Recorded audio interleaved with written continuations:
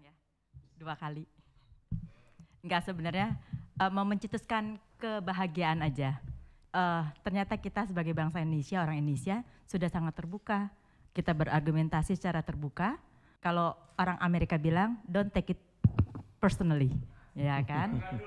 Oh, orang gandul ya? tadi kata dari Texas beliau. Jadi kalau kita belajar kepada abang kita yang di sana, kan selalu uh, every small thing to di argue Ya, yang kecil-kecil kita argue. Tapi setelah itu, that's it, we are friend, we have a drink, kita makan sama-sama gitu. Dan ternyata 20 tahun kemudian, 30 tahun kemudian, kita sebagai bangsa Indonesia juga mempunyai keterbukaan yang sama. Uh, tahun ini benar-benar suatu kebahagiaan yang yang sangat bahagia sekali. Karena ternyata kita-kita di sini nih bisa mengeluarkan aspirasi, inspirasi secara belak-belakan, tidak takut lagi, dan diterima dengan tangan terbuka. Tapi ternyata dilihat dari uh, kondisi dan situasinya itu benar-benar positif. So I think we are going to be a great, great country. Uh, saya juga mau panggil satu teman kita, Mas John, Mas John gitu loh. Silakan. Thank you.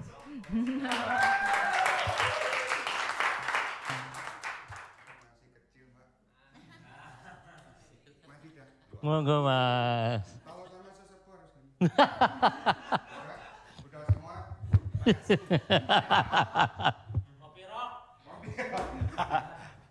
Halo, waduh. Suaraku ngebas ya. Uh, selamat malam Mas Idang. Selamat malam. Mas. Uh, saya ke sini tadi berangkat jam 4 karena saya ini orang pabrik Mas. Jam 4 sampai sini jam 8. Terima kasih banget. Begitu lancar. Begitu lancar. Itulah Indonesia. Begitu Mas. Iya. Saya benar-benar sangat cinta ke Indonesia ini mas. Iya, jadi tadi itu di, sampai sini ditanya sama Mas Feni. Macet mas? Enggak, biasa itu. Hah? Biasa. itu enggak macet, sakitnya di sini mas. Enggak, di sini. di sini. Kalau di sini biasa, mainstream. Kalau ada Mas Idang, jangan main yang mainstream-mainstream, oke? Okay?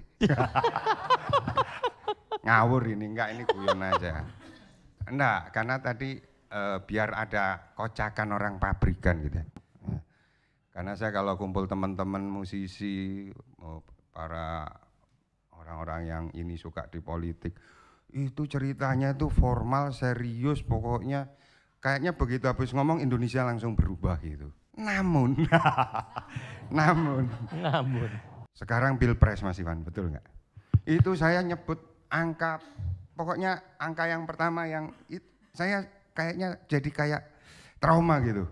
Jangan nyebut nama angka itu. Jadi foto kemarin Mas Idang, kalau foto sama siapa aja saya yang sibuk tuh ngatur tangan. jadi saya awas awas, sebentar, sebentar, udah gini, ya kan? Karena takut melukai, ya kan? ya. Karena satu adalah teman, dua adalah sahabat. Lihat ke sini ada Mas Wiras, ke sana, lu semuanya sahabat.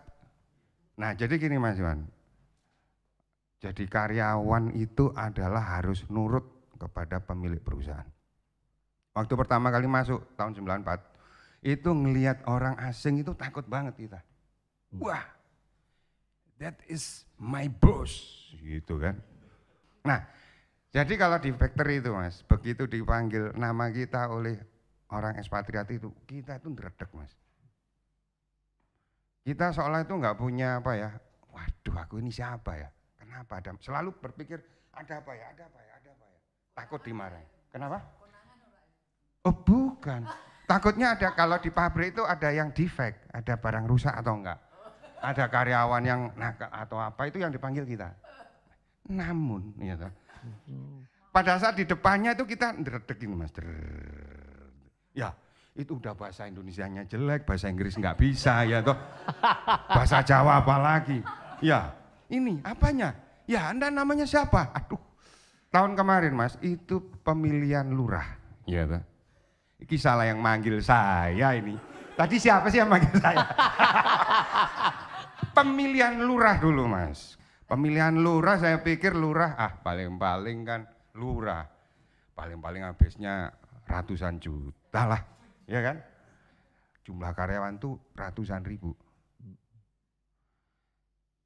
ada tiga calon, mereka pakai simbol buah-buahan. Ini teman saya yang dari Amerika ini biar tahu yang sudah jadi santri ini. Daud. Sama temannya so, Salim ya. Oke. Nah, itu pakai tiga buah. Tapi yang saya heran mas, yang satu habis 5M, yang satu habis 9M, yang satu habis 12M. Kira-kira yang menang mana? Hmm? Ini orang Indonesia banget. orang Indonesia pasti ngarah yang kemelarat. yang yang kesedih, yang nangis itu di waduh itu tapi memang benar yang habis dua dia nggak punya duit Nakal ini. iya kan iya nakal dia mas coba sampean tebak kira-kira lurah itu ngasih uang rakyat berapa? Per orang. Yang bisa saya kasih kopi rok tiga gelas. Mas aku bikin kopi rok? Saya orangnya minta maaf. Kerja pabrik kalau keluar dari pabrik ngadu kopi. Santai. Orang mikirnya satu orang dikasih 50 ribu mbak.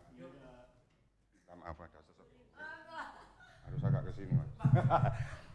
Paling-paling 50 ribu ya kan atau 150 ribu. Itu udah banyak. Lurah gitu loh. Sawah paling.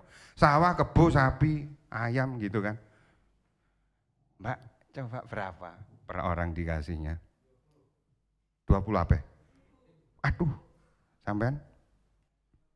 50 oke. Kalau seniman kalau musisi pasti bisa nebak. Kang Iwan berapa kira-kira? 25 Mas Rio? oke terima kasih. Daud Aduh. Aduh. Minta maaf. Minta maaf. Anda benar-benar katrok jaya. Salah, eh, dia baru belajar ngomong goceng. mbak, pertama mereka ngasih itu 100 mbak. Eh Mas Jalu, kira-kira lurah tadi ngasih orang-orang berapa? Yang oh, 100. Itu masih mendingan, PD. Tahu nggak mas, mereka pertama kali ngasih 50, itu satu bulan sebelum pemilih. Kemudian tiga minggu, dua, tiga minggu sebelum mulai 100, 150, 200. Dan besok itu orang yang ngeluarin 12 M itu ngeluarin satu juta sampai satu setengah juta mas. Lu masa per ekor? Orang, orang, kalau manusia itu orang. Aduh. Ayo, ayo. Betul, enggak ini serius. Enggak serius, enggak. Jadi saya itu sebagai seorang laki-laki yang masih bujangan, itu oh enggak jangan ngomong bujangannya biasa. Ada enggak yang mau itu loh masalahnya? Halo Mas Rio, apa kabar? enggak, enggak, saya memang ada feeling Mas, feeling berteman, feeling berteman. Enggak, tadi ada nyebut-nyebut nama beliau gitu. Ah, seperti Rio gitu kan dengar saya sebagai pendengar. Apa? Jadi satu setengah juta loh mas. Aku waktu itu mikirnya gini, itu sampahnya pabrik aja sekali der jual sampah, itu beli mobil mas. Tapi ya gitu, di depan-depan itu semuanya pendekar-pendekar yang namanya centeng.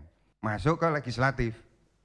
Tapi kebanyakan kita nggak ngurus kalau legislatif bupati akhirnya.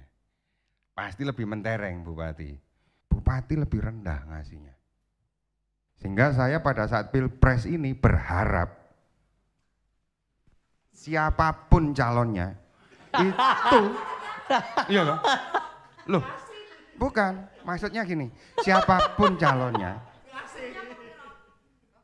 uh, saya ingin seorang presiden itu dihormati oleh rakyatnya.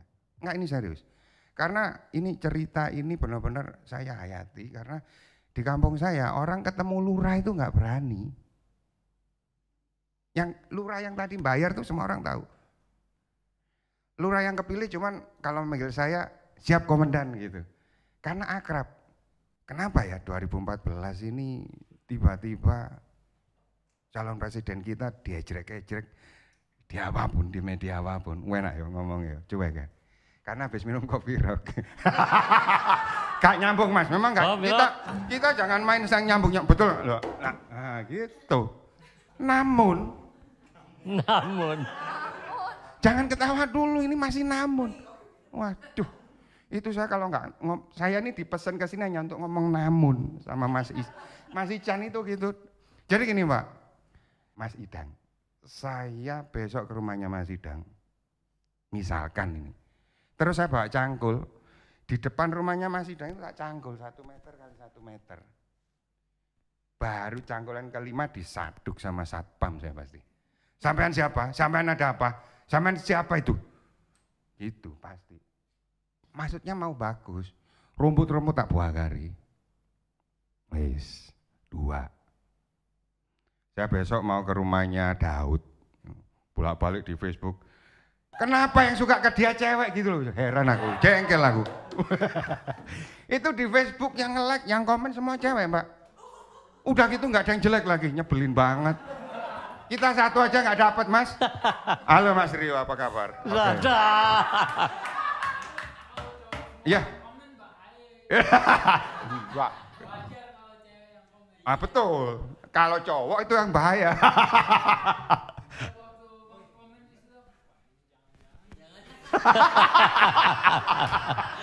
oh, dia curiga banget sesama cowok. Makanya aku kalau komen dikit, ya. Asik, cuman gitu toh. Ya kan? Nah, akhirnya gini mas. Namanya Freeport itu mbak, itu gunung dilobangin. Nuh, satu meter aja saya diajar satpam. Kemarin temanku anak Jakarta kerjanya di Kalimantan Barat di Entikong saja baru tahu nama Entikong. Ayo ke sana aja, sepi. Uh, enak dong. Aku mau ke Sumatera aja, mau ke sana jalan-jalan. Enggak rame, padat kayak Jawa. Oh ya, Entikong. Sepi enak. Santai gini gini gini. Dia kan di perkebunan kelapa sawit. Coba sih lihat fotonya, begitu diliatin mas. Itu namanya bukit Gondol Jaya. Oh Gondol Jaya. Lu karena habis mbak ladang-ladang itu.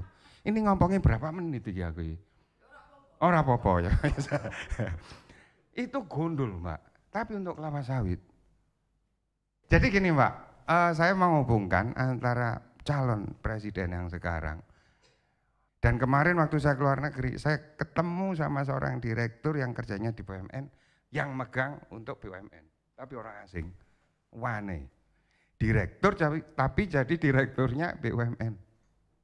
Yang ngasih advice ke semua orang. Iya, dia ngomong ke saya gini. E, Rif, Sebentar lagi negaramu hilang. Bahasa Inggris ya? Yo yo rek, aduh. Ayo, aku iso bahasa Inggris. Nyebelin orang ini. aku gak mau ngomong lagi.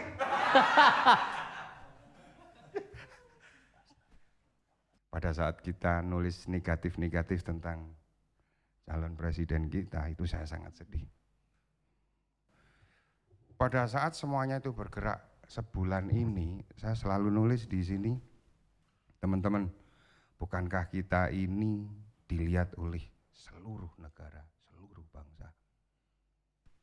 Teman-teman tahu nggak apa yang ditanyakan ekspat ke saya setiap kali kita ini? Dia pura-pura lu nanya, who's your president now? Uh, Abdul, Abdul, padahal udah tahu namanya Abdul Rahman Farid. Who's your president? Pura-pura terus.